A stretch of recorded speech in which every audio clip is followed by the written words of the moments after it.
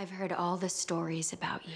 But falsely resurrecting a missing child to get back at Blake? How heartless can you be? What are you raving about? Adam is my son. I think you're confusing the role of mother with sugar mama. I don't know what you saw, but spare me your vulgar accusations. You've done nothing but tear this family apart since the day you arrived. You tried to drive a wedge between Steven and Sam. You did your best to destroy my marriage with Blake. You even pitted your own children against each other. Honestly, I think you need to be medicated. The truth is, Alexis, I'm a much better mother to your children than you ever were. But then again, you set the bar pretty low. What do you know about being a mother? I don't need to listen to this. My son's getting married.